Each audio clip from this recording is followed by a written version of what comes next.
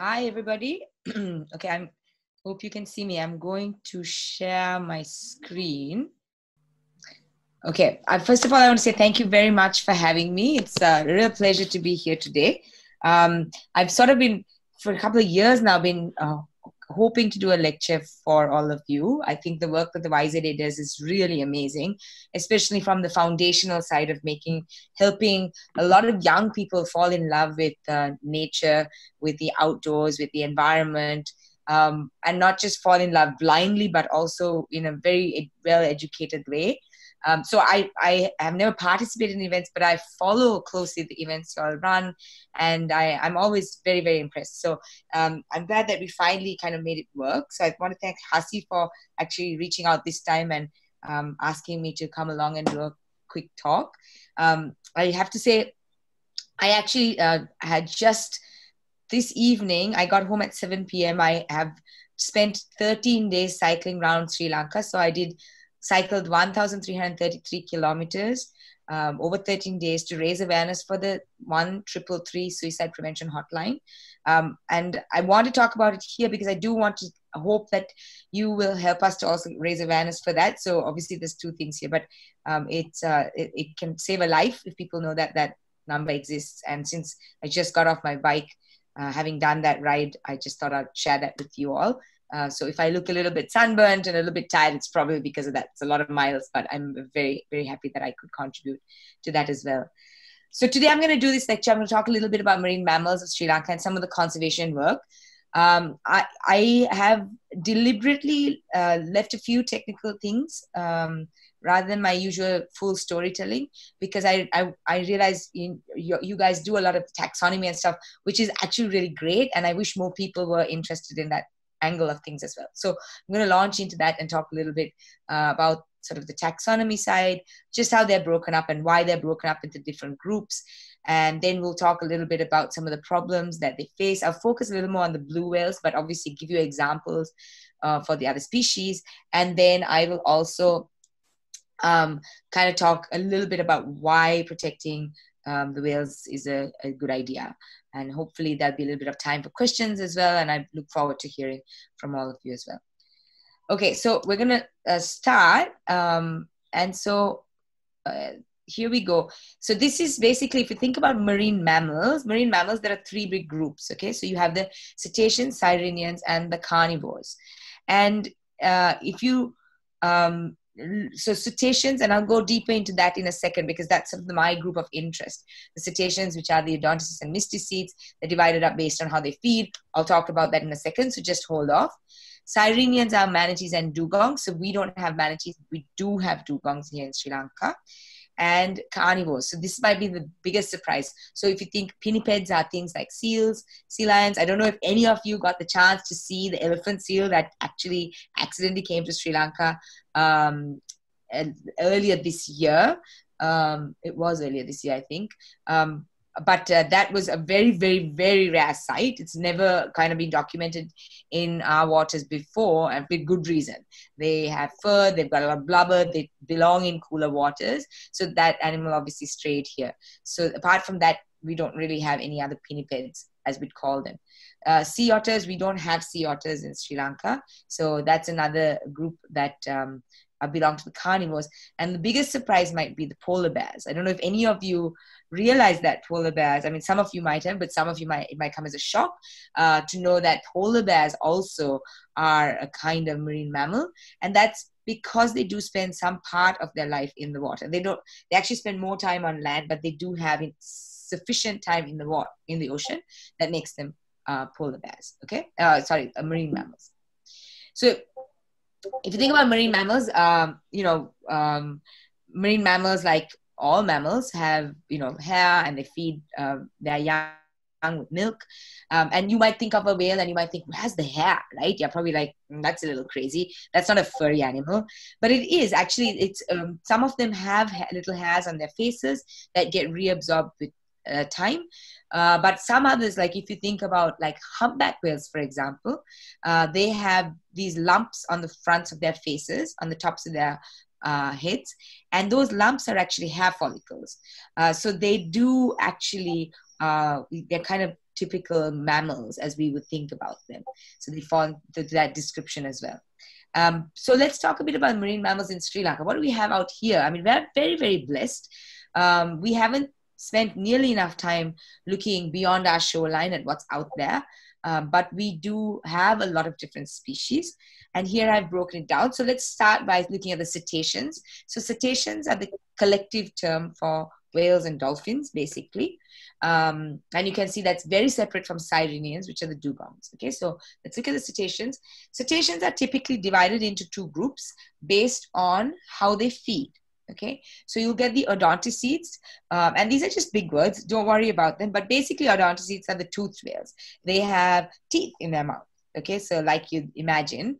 Uh, so if you think about dolphins, they have teeth in their mouth. Um, they use them to feed. The biggest odontocete or tooth whale is a sperm whale. Uh, sperm whales are really interesting because they only actually have teeth on the bottom jaw. They don't have teeth on the top jaw. And that's because they don't actually um, need to chew on their food. What they do is they eat squid. So they'll hunt that squid, they'll grab the squid. And so they need the teeth to grab onto it, but then they suck it down, right? So when they suck it down, obviously they don't need to like nom, nom, nom, chew on it. So that's kind of an advantage. And so they only need a bottom row of teeth. Um, dolphins, you'll see, have both rows of teeth, and that's usually because uh, they're feeding on things like fish that catch them and they want to chew them and then swallow them down. So in Sri Lanka, we have 24 of about, I mean, and these numbers are bit vague because we still have lots to discover, right? But we know we have about 24 species of odontocetes, um, or uh, uh, out of 70 species that you'll find around the world. And then we move on to mysticetes, which is the middle column, as you can see in this uh, slide. And mysticetes are basically, again, don't worry about the word, mysticetes are baleen whales. So baleen whales, for those of you who don't know, and I'm simplifying because I um, imagine there's quite a diverse audience out here. I think there's quite a number of people in the room. So excuse me if you to know some of this stuff. For those of you who don't, I hope this is, you know, I hope everyone gets something out of this talk. So mysticetes are what we call baleen whales because they have long comb-like structures in their mouths that they use to filter feed the water column. Okay, so they don't bite. Um, so people will think about the blue whale and be like, it's so big. Aren't you afraid to work with them? Um, well, first of all, I don't get in the water with them, which is one thing. But also, they just assume that because they have gigantic animals, these animals are going to bite and eat people. But what we do know is, interesting fun fact, is that these guys feed on tiny shrimp-like creatures um, particularly the blue whales. Uh, some might feed on small fish and stuff like that, but really nothing uh, they need to chew on. So what they do is they'll open their mouths when they see like a say a swarm of uh, a shrimp, uh, like little prawns, isso or kunisso. Uh, they'll find big groups and then they'll open their mouths and then they'll take a big gulp and they can actually extend. So they have on the bottom of their heads, uh, on their like the bottom jaw is actually very elastic. Uh, if you later on uh, Google lunge feeding humpback whales, you'll see these incredible shots of humpback whales coming out of the water, and they'll have these massive, like big bulbous bits on the bottom, and that's basically extendable skin, so to speak. So it's like an accordion. They can, if they gulp a lot of water, that expands. So kind of like I guess like a pelican. And then uh, when they uh, they push out the water with their tongue, and then that gets smaller, and then they can swallow all the little things that are caught inside these fibers in their mouths, right? Baleen. Um, so a fun fact about blue whales is that their esophagus or their throats are so small that they can they would choke even on a loaf of bread, right? So if you think about a loaf of bread, it's about that size, not really very big, but they're so designed to feed on these tiny things that their esophagus is actually um, not designed to even feed on something as big, not very big, as a loaf of bread.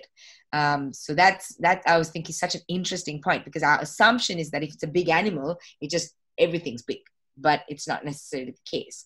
Um, they're very well adapted and designed to sort of uh, live in the spaces and feed on the things that they're uh, you know best at hunting um, so in Sri Lanka, we have about four of 11 species. And again, these numbers are changeable because, you know, we do, um, you know, discover species all the time. Uh, well, not all the time, but uh, we do, there is potential for discovery given that we have done little work in uh, our marine environment over the years.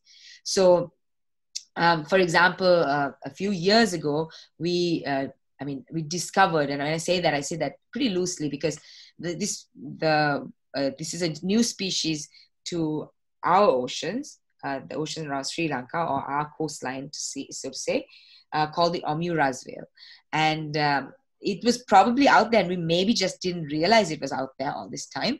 Uh, but that added another one to our list. So that was a very exciting and very characteristic markings, which made it easy to define. Um, but um, yeah, so um, what I want to say is, you know, the ocean is a mystery and it will continue to be a mystery uh, because it takes a lot of effort and work to get out there and do some of the uh, work and discovery work and it can be quite expensive but there is also room for discovery which i think is kind of really exciting and then we move on uh, just briefly to the Sirenians. Um, the Sirenians are the dugongs. Um, and, you know, we have dugongs in Sri Lanka. Uh, they are often seen as bycatch in nets, uh, fishing nets. Uh, very rarely do we uh, hear of them being seen um, alive, which is a bit sad. Um, but uh, yeah, and um, for them, and I'll briefly talk about them here because I'm not really going to go into much detail on the dugongs, but they, the, you know, with the destruction of seagrass beds, that's their favorite food.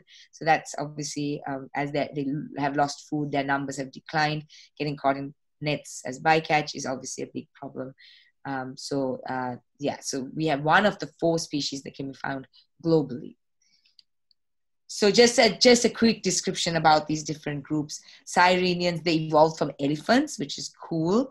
Uh, they're rather large, but they don't get as, as big as, say, um, the baleen whales, right? If you think about blue whale, but still big. They are stout bodied, they have downturned snouts, rounded flippers, and a horizontal tail. And they swim with their fluke. So the fluke is the uh, the tail basically of the animal that we, we call that a fluke even in whales we'll call that the tail fluke they tend to be in shallow, warm waters and coastal and riverine waters. Um, so here we see them, um, if you're lucky, uh, sort of in the Gulf of Mannar area where there were extensive seagrass beds, uh, which aren't quite as extensive anymore. So they eat vegetarian, they're herbivores, right? Um, and uh, there was actually, this is a fun study. I mean, um, there were some researchers actually in i think it was in australia who were trying to do some they used to record the farts of a dugong. I know this is a ridiculous side point but i just think it's so much fun. And they were trying to see if each individual had a different um, sound when they farted. So it's a bit of a fun fact for all of you. Um, they tend to bite off vegetation and chew, so that you know herbivores. They have to chew quite a lot because obviously the fiber. And we're considering them marine because they actually never come to land, right? So they, they live in the water throughout their lives. So again, we go back to the cetaceans. Uh, you can see the odontocetes. You can see very clearly here. Um, this is the killer whale on the left-hand side, or orca. Kind of a kind of name because I think killer whale gives them feels like they get a bit of a bad reputation. Uh, but they are the only well, they're not really, but they're the uh, best known marine mammal uh, feeders and uh, as a not i mean i i'm going to keep dropping side notes because i just think sometimes there's some fun facts that will uh, make you think um, a little deeply more deeply about a, a, species or something. So with in terms of killer whales we think about them as all being these like you know killer whales that go out and eat marine mammals.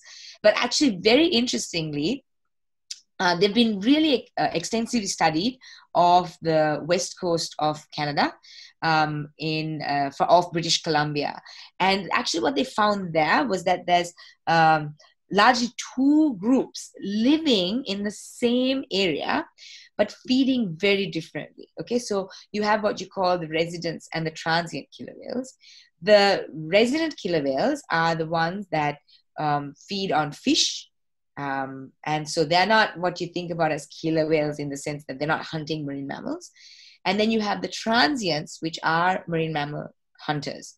Um, so they both live in the same habitat, but they're distinguished by what they feed on.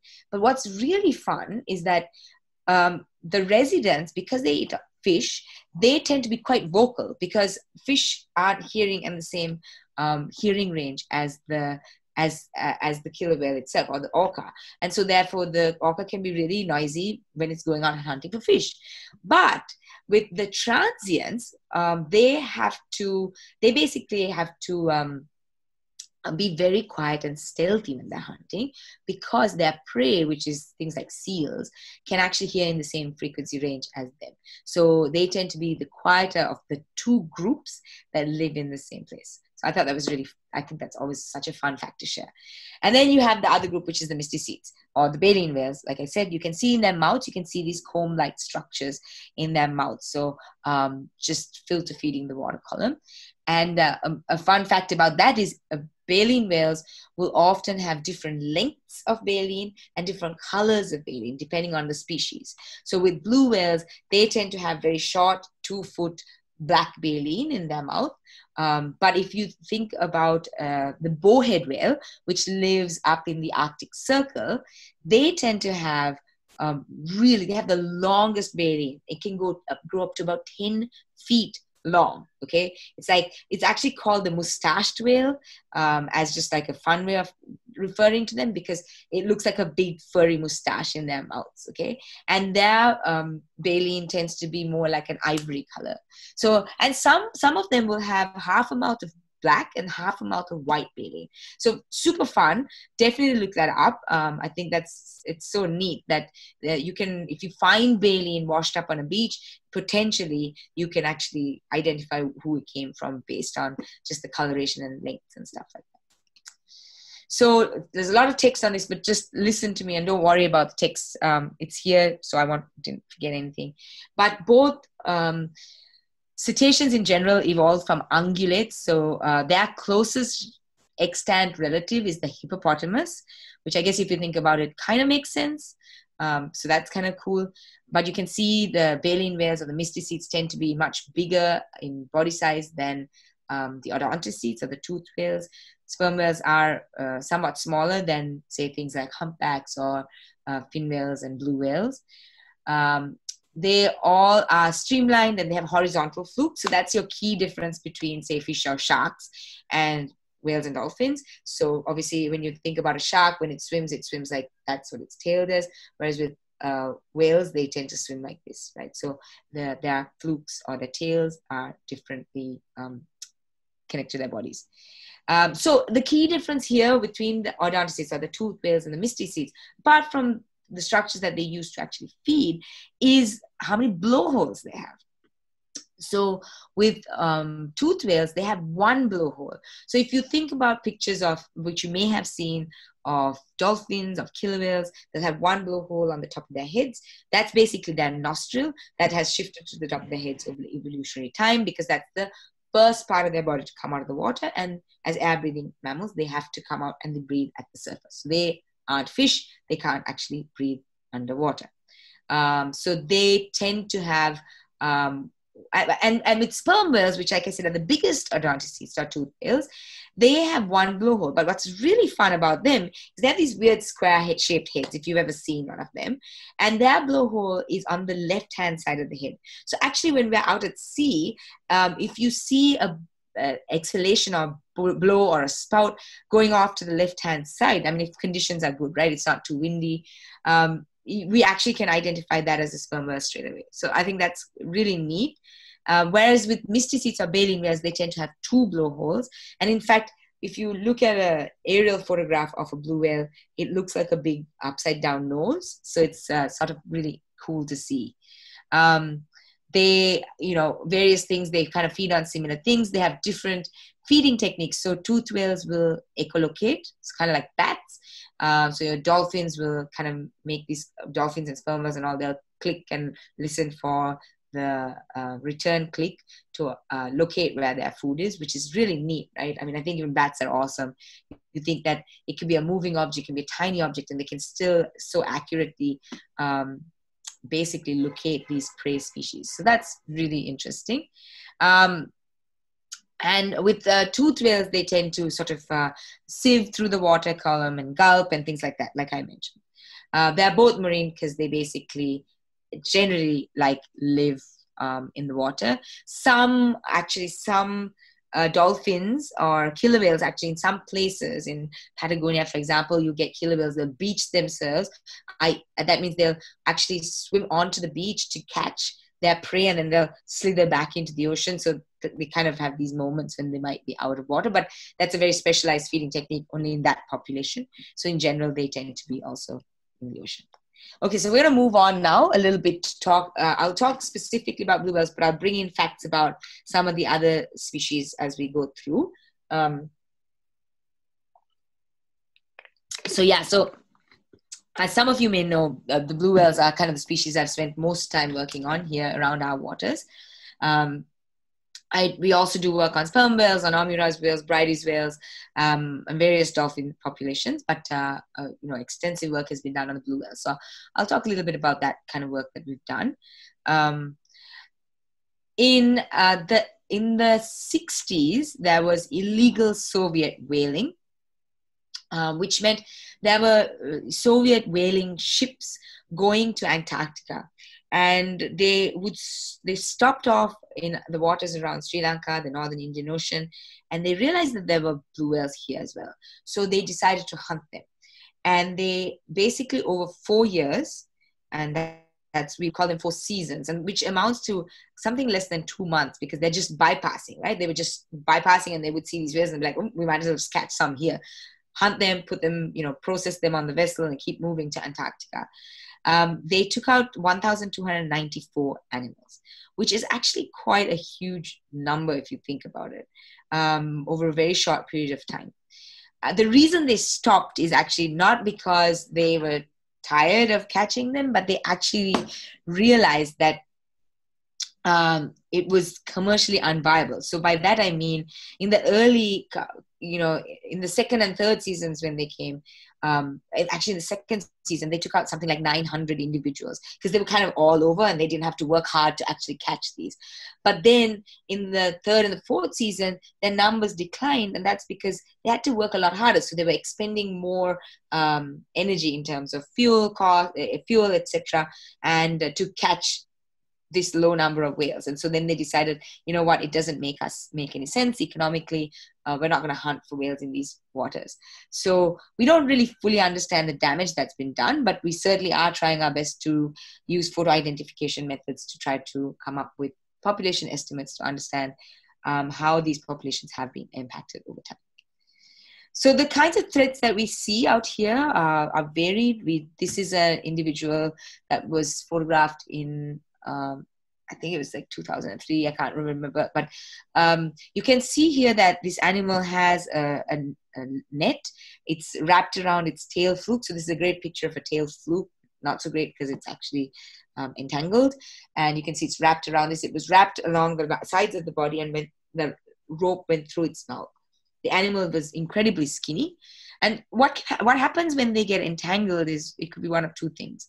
Um, one thing is that they can uh, basically um, if if they get entangled underwater uh, they can drown because like i said they have to come up to the surface to breathe. But if they are entangled at the uh, surface and if there's something buoyant like a like some flotation device at the surface, then these whales can't dive to feed. And if they can't feed, obviously die, they can die of starvation. So entanglement is not a great thing. And actually, um, the North Atlantic right whale population of the east coast of the US is currently critically endangered and purely because of this. They get caught in what we call lobster pots. So in the on the east coast of the US, they're really famous for lobster. Okay, that's like their big thing, the Maine lobster. And how they catch it is they have like a a, a little cage, um, and um, um, then it has a rope, and at the top there's a buoyant buoyant like a buoy, right? So it floats at the surface so that the fishermen know where they've dropped their lobster pots. And these North Atlantic right whales um, go through these areas and they get very entangled. And then that one thing is they can also be dragging about the same as their body weight in net and and these cages. And that's really tiring. So imagine carrying someone your exact same weight on your back and having to walk around all day right? That's really tiring. You're burning a lot of energy and calories and you may not be able to feed enough to kind of fulfill your body's needs. So they're finding that actually a lot of animals get entangled a lot of them have been dying. They also get hit by ships. I'll talk a bit about ship strike in a second but those are the two key problems for this population. And you know the sad part is you know we often think um, that um, and i know this audience is very varied and that's what's really cool. I know i think i saw Mindis out here who does amazing work right with animals that maybe lots of people don't pay much attention to. I'm sure there's loads of people out there. You guys pay so much attention to the little things out there as well. And we often like to think that uh, you know human beings care about the large animals right? Uh, oh yeah people care about whales and elephants and tigers and um, leopards and stuff. And sure there's a lot of focus on them but i think this is a great example of how much people maybe don't even care right? Like if we can allow a large whale species that you know people apparently are more attracted to go to extinction in our lifetimes um, the scary part about that is then what hope do we have for the smaller species, the more um, the more cryptic species uh, that of many of which we know very little about, right? So I think that's something really important for us to also keep in mind. Uh, we have to work for everything in the oceans, um, and and I do focus on whales uh, primarily because I kind of fell into this role in some ways with um, a chance encounter with these blue whales many many years ago, but I do believe in the conservation of the whole ecosystem, every component, including the people whose livelihoods depend on it. So that's something uh, to keep in mind. Um, okay, let's try to get the next slide. Okay, uh, another thing that we see is so um, with entanglement, if an animal gets entangled, there is a chance that it will die, right? So that can be a population level threat. It can like reduce the numbers in the population. I've got a picture here of whale watching boats, and whale watching boats have a different kind of impact uh, one actually okay so it's more harassment right? So i'm sure you know many of you have gone to yala you've seen all the vehicles like horning and trying to get in front and trying to see the leopard and uh, here it's sort of the same thing right? We see boats and they'll race behind um, a whale and then they'll wait for once it dives they'll all wait and then the minute the whale comes up all these vessels would start moving to it um, and the thing with whale watching is that whale watching is a very new industry, right? In, now, in our lifetimes, we talk about it like it's something that's been around a long time, but it only started in the 1990s. And so we don't fully understand what the long term impact is of the of this constant interaction of vessels with um, these whales and in, in this habitat. So um, that's something for us to think about as well. While it's obviously uh, a way to earn tourism dollars and sri lanka is very dependent on tourism and a lot of livelihoods depend on it. I think it's important for us to think about how we do it. So from at oceanswell actually that's one of the things we are focusing on is looking at um, how to create a slightly more sustainable whale watching industry. And for that we we use drones. We try to we've tried to film sort of interactions look at how the boats the, are interacting with the whales. Uh, we do research on um, so so the whales they come up to breathe and they'll breathe a few times they'll exhale a few times and then they'll dive right? They'll do their last big dive and go down to the depths to feed. And so we count how many times they come up to the surface whether that changes when there's a lot of boats coming towards them whether their dive cycles are shorter. So these are things indicators for us um, to see whether or not there's a certain level of harassment. And we one of the other things we want to do is also to look at um, uh, stress hormones uh, if we can. And um, of course, it's a bit tricky because we kind of have to wait for the whales to poop, right? And uh, you know, it's opportunistic. So, um, but if we do find samples, the idea is that we collect it and then can do some uh, stress hormone work. Um, and and related to this, and let me just show you. Actually, here's a so just so you can see well, you can't actually. Okay, well, this video is actually of um, a, a, a, whale being followed by these uh, boats that I took um, from a, a plane but uh, you can't see the video right now, unfortunately. But anyway, uh, just to tell you that, okay, so on top of that, like if we think about vessels, we think about, okay, this harassment at the surface, right? Like a very visual harassment. But one of the other things that we don't really think about is acoustic pollution, right? Sound pollution. Look, these are animals that see their world through their ears, right? Like their eyesight isn't generally very good because, you know, you can't see much in underwater, but they are very dependent on sound production. They are very dependent on hearing uh, to basically um, to navigate through their world, to find their food, to find their mates, to find their friends, to find their families, right? and so as we have more and more activity in the oceans you can imagine sound um, is increased and that can be detrimental to their lives in many ways and and as a good example i you know just to tell you how um, stress these animals can get um, this is a really great i mean i think it's such a great example of science kind of telling us a very interesting story um, on the east coast of the US with the North Atlantic right whales, they've been collecting feces or whale poop for a very long time. Um, and they were collecting samples from before 9 11. So we actually, funny enough, tomorrow is 9 11, 2020 though, but uh, before sort of the, um, the attacks in the US, the Twin Tower attacks. So they were collecting samples before 9 11. They collected samples during as soon as 9-11 happened in the kind of the week that followed and then they continued to con- collect fecal samples or whale poop samples after that.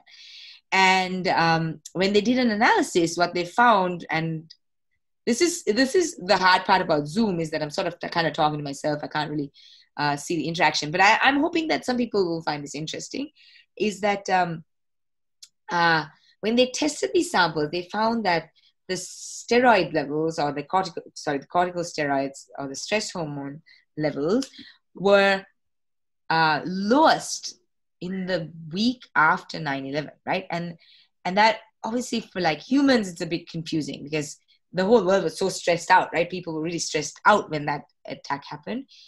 But for whales it was like some of them one of the most relaxing times in their lives right? And what the researchers found was that um, as soon as 9-11 happened, they actually shut down shipping in the Bay of Fundy, which is on the east coast of the US, which means noise levels dropped. And when the noise levels dropped, the whales were not so stressed anymore, right? And that's a great reminder of how um, noise is a re- has a really big impact on these animals that use their hearing and are so dependent on it as they move through their ecosystems and their spaces right? Um, so uh, and and and their stress levels basically their cortisol or their stress hormones increased as soon as the shipping started again and there was they had high stress levels before 9-11 right? Because that's the shipping was normal. When the shipping dropped their stress levels dropped. And then when the shipping started the stress levels went up. So uh, that's a really interesting thing. We're hoping to do a bit more work on uh, stress hormones in our uh, collection of um, whale poop as well out here. But we're, we uh, are building collaborations to help us learn from those researchers out at the New England Aquarium uh, to bring some of their skill and knowledge here as well. Okay, so then one of the big problems that I've been working with for a very long time is this problem of ship strike. So this is a very typical scene out on our oceans. That's a blue, beautiful blue whale diving. In the background, you see a big ship, right? In case anyone's wondering, sometimes I get this question, so I'm going to just throw it out there. Uh, what you can see attached to the tail fluke are remoras. So if you don't many of you might know about remoras, but for those of you don't, there are these really cool fish that hitchhike on whales and sharks and things like that. They very interestingly, quite a lot of people think they attach themselves from the mouth, but they don't. They actually attach from these molecular plates on the backs of their heads, which is really clever because that means when the whale dives, right, they are attached like this. And what they do is they can then just like feed the excess food that the whale doesn't get in their mouth um, and um, swallow it. So they get a free ride, they get free food, uh, but they have to be super well adapted to dive and go down to these crazy depths that their host species is taking them down to, right? So um, pretty neat, I think. But yes, so this is a typical scene. And um, so we'll just talk a little more about this problem because, again, this is something I've spent a fair bit of time thinking about and trying to work on. So this is a map of uh, uh, shipping lanes in, the world and lots of lines, but don't panic. Uh, let's look at the yellow lines. The yellow lines are the areas where there's like busier shipping highways, right? Like busy, busy, busy ones. And if you look at, you know, our waters around Sri Lanka, oops, that circle has shifted. It's not supposed to be there, by the way. It's meant to be around Sri Lanka. You can see some of the busiest shipping highways in the world are actually at our doorstep. So the south coast of Sri Lanka is the main artery through the Indian Ocean. Everything from Singapore to Dubai goes through this area. Uh, while shipping has um, uh, doubled globally since the 70s in the waters around uh, Sri Lanka, the northern Indian Ocean, it has quadrupled because trade is changing. There's a lot more activity in our waters. Um, so, so I mean, it's also just you know, if you think about it, like having a lot of ships in the water, it's acoustic pollution, but there are also other op- opportunities for um, impacts. Um, so, um, just this is zoomed in view so you guys can see a little bit more like kind of what sort of data we will use in a situation like this you can see on the south coast of Sri Lanka, there's like a big black blob. Those are just sightings of whales that we've collected over the years. You'll see a few more sightings in other places.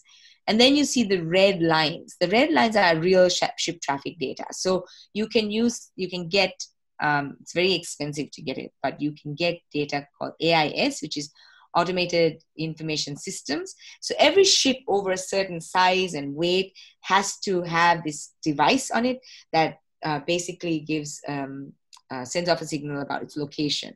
And so there are, um, uh, this is great. Thank you. Whoever's putting the pointers out there, I really appreciate it, by the way. I'm, at first I was like very, I, I thought I'd done that, but I'm, I'm not doing it. So thank you. But um, so this data, this satellite data tells us where the ships are going. And what we can see here is that the red lines are like the most popular shipping routes, right? We have designated shipping highways. And so you can see lots of uh, ships going through certain area. There's overlap between ships and whales off the southern coast of Sri Lanka. So obviously sights like this are not unusual. Some of you may have already seen this image. Um, I use it a fair bit because I want people to realize that even the biggest animal that has ever roamed the planet is not necessarily safe in its own home um, as a result of um, human uh, human creation, right? Which is also quite something to think about. And so this is a blue whale that came into our main harbor in uh, main port in Colombo in 2012. Uh, you can see that it was killed on impact. That's why we can see internal hemorrhaging. Um, this vessel actually we tracked some of the, we looked at some of their movement data and we discovered that it was traveling at uh, over 20 knots, uh, which is really quite fast for a ship. Um, and this is not an isolated incident. About 10 days after, 12 days after, we found another carcass floating at sea with a massive gash on its tail, which was uh, indicative of a propeller gash, so hit by a propeller of a ship. And so that was um, obviously, uh, oops, sorry, that was evidence that this was happening. Now, the tricky thing with this is, well, the tricky thing with the ocean in general is that it's a pretty elusive, it's a vast space um, that leaves us very few clues in anything we do, right? So, oftentimes these carcasses, they're neutrally buoyant. Uh, they're negatively buoyant, which means they tend to sink, right? Blue whales tend to sink. So, quite often, if they get hit or something like that happens, there's a higher chance that they're going to sink, and we're not going to have evidence of that happening. Okay. Um, sometimes they, you have dead carcasses washing up onto the beach.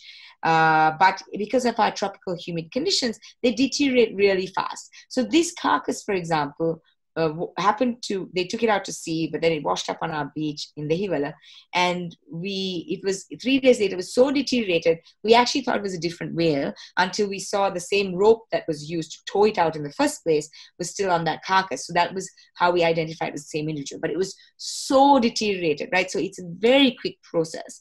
And so evidence like this is not always available, which is oftentimes the pushback that you'll get um, when we're trying to work on this problem. Is like there's a lot of people who say, so how many whales are getting killed, right? And I don't, it's very hard for us to know. I think we just have to work on the precautionary principle. And as shipping ships increase in the important habitats of these whales, we have to know that this is going to happen more and more. Off California, where this is a problem, and they've extensively studied the problem, they find that for every whale that gets documented dead like this, there's at least 10 others that go undocumented. So that's quite a few animals. Um, so even if we saw two in a year, that's say roughly 20 animals that have potentially died uh, because of, you know, uh, anthropogenic impacts, human impacts. So it's something for us to think about a little bit. Um, so it is, it's, ship strike is a problem uh, it is the biggest problem for our whales because uh, um, if one gets hit, it dies. And so that's definitely going to reduce the number in our population.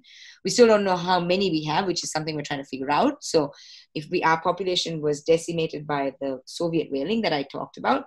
And so th- this is just a numbers game right so it's really important for us to consider these problems and look at and the thing is you know all of you probably do know that conservation is complex, right? Where there's so many elements to trying to resolve a conservation problem quite often.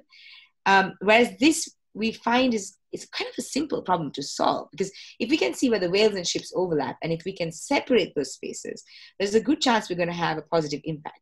We're not going to necessarily save every single whale, but we're probably going to have a reduction in the number of whales that are getting are dying, right? Which is no one's complaining about that.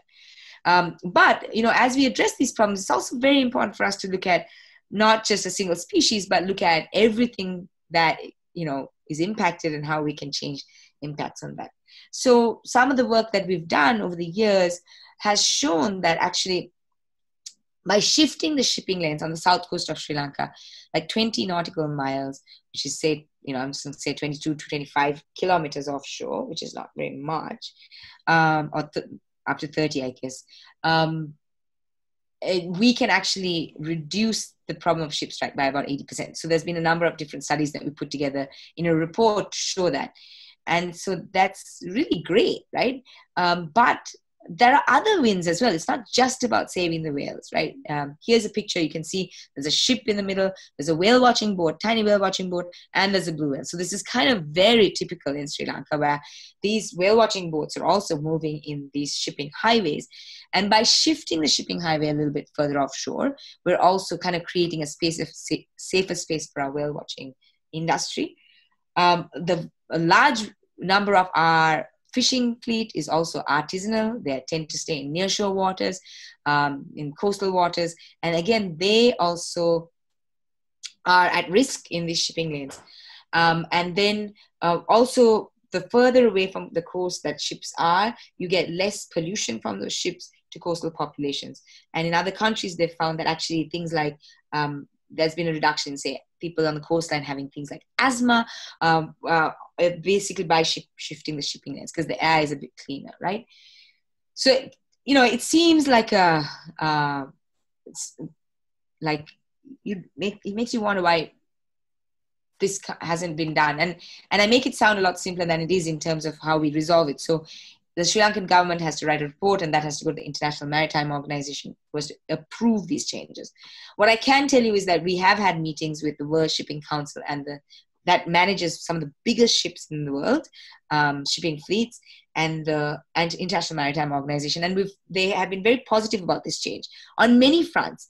Um, in fact, 23% of vessels shipping ships have started to voluntarily move further offshore so that they can avoid interaction with whales, which is one thing. But the other thing is they find that our Sri Lankan waters can be a little dangerous because of a lot of our small shipping, uh, small fishing boats tend to bob around in the ocean. You think about some of the small boats that we have out there. Um, they don't necessarily have lights on. They have no tracking device, so ships can't actually uh, see where they are in the ocean. They can't be detected by ship radar. So it's actually um, quite dangerous. We don't necessarily hear about boats getting hit by ships as often as it happens. Um, so, so we can create a safer, safer space by addressing this problem that we've been looking at in terms of these blue whales. And that just brings me on to the final thing, which I think is very relevant right now. It's this uh, basically oil spills and oil-based pollution. So we all know what's going on right now. The uh, MV Diamond that caught fire uh, off Sangamankanda Point. Uh, it was 38 nautical miles offshore. They managed to douse the flames, take it a bit further offshore, and uh, then um, they it re sort of there was a spark that reignited. Um, the thing is, there is a apparently, uh, and I, am gathering this from the news as well. So um, it's. Uh, I mean, there might be other piece of information coming out, but there was some oil leakage. Uh, the issue for us with oil spills, I mean, it's it's a devastating problem. It can smother reefs. It can end up washing up in our sand. Um, can't clean all the sand, so that means the oil will persist.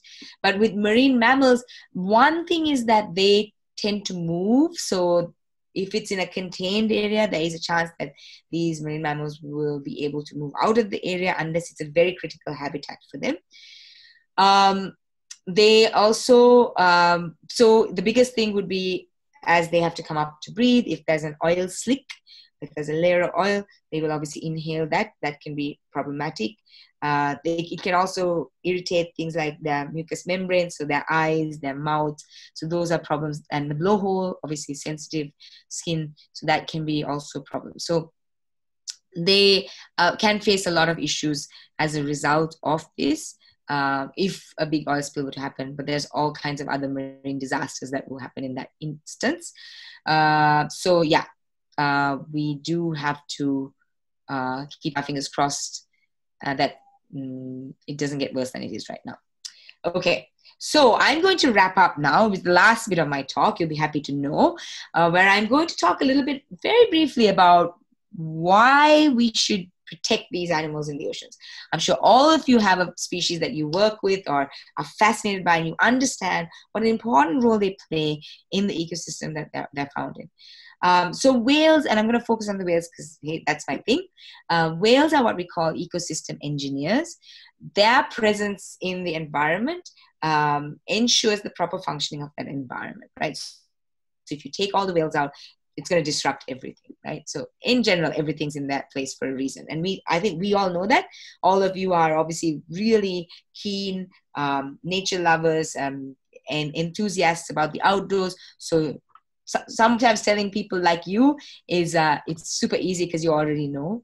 Um, so um, you understand these concepts. But just to tell you how whale's ecosystem engineers well here's a fantastic photograph taken by one of my friends.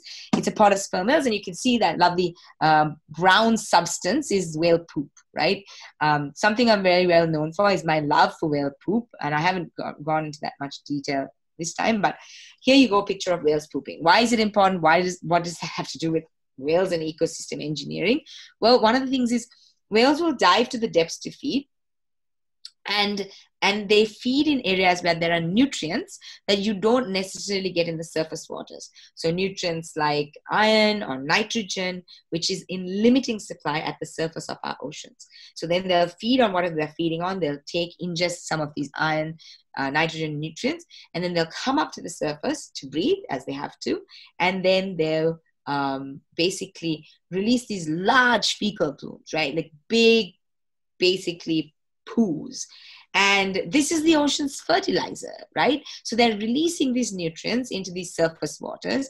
These nutrients um, then are used by the tiny uh, microscopic plants, the phytoplankton that are all over the surface of our oceans. They, you know, photosynthesize, so they use these nutrients, they use sunlight, they eat that for breakfast, and then they produce oxygen. Um, 50 to 70% of the oxygen that we breathe is actually produced by plants in the ocean. So actually, it, the, the ocean is really integral to our survival. Uh, sometimes we don't think about it, and sometimes some of the oxygen that we breathe has come as a result of the whales fertilizing these plants that then, then in turn give us oxygen. So I think that's always a really fun thing to think about. This process of these whales going down, diving, feeding, coming up, releasing nutrients is called the whale pump. Um, and then the last way that they also provide a very big service to the ecosystem is that they um, are food, right? Like here at the surface, there's lots of species that might feed on them. Um, and then as a carcass sinks, uh, it's what we call whale fall. That's actually the technical term for a whale carcass that sinks to the bottom of the seafloor. It provides food to other species deep at the depths of the ocean, some parts of the ocean, but there's not a lot of food. Um, and that the species are obviously very well adapted to living long periods of time without food, but of course they do need something. So when these carcasses drop from the surface waters, thousands of meters deep, they provide a feast to a lot of different species. Also, in these bodies of these carcasses, they trap excess carbon um, and they take it down to the depths of the ocean. The ocean is our greatest carbon sink, basically it holds on to ex- excess carbon from the atmosphere, um, which is actually huge service to us, and it actually buffers um, some of the impacts of um, climate change as a result. So the ocean is really important. These whales are really important. Generally, species are where they are because they need to be there because they serve a purpose. Um, so with that, I want to just wrap up. I think that's my time allocation. Um, I am looking forward to some questions maybe, um, but to, to continue following the work that we do, do come follow us on oceanswell.org um, and check out some of the stuff. We've got lots of really interesting projects. This is just a component of what we do, but we do marine conservation research on a number of species we also do a lot of uh, education related work, online courses, field courses. Um, we run discussion groups. If you um, if you're young and in the audience and you want to learn more about the oceans, do join us for what we call our Ocean Hero Huddle, which is um, a half-hour session where you watch a video and you join in and you have a discussion about some amazing species. So last month, my team conducted a talk about uh, tongue-eating isopods that live on fish, which is really cool. They feed on the tongue of a fish and they replace the tongue, actually, these isopods. I think that's really awesome. Um, and then we have the, the more grown up version, which is our marine conservation conversations, which are one hour long. And they are focused around a scientific journal article, but I, you know it's open to everyone. So we have people from all the different backgrounds coming in. I always ensure we pick up a paper that's super interesting. Um, We've talked about a lot of marine conservation to- topics in the last 21 um, MCCs. I look forward to seeing some of you at our, all our next events. So do keep following at Oceanswell.org.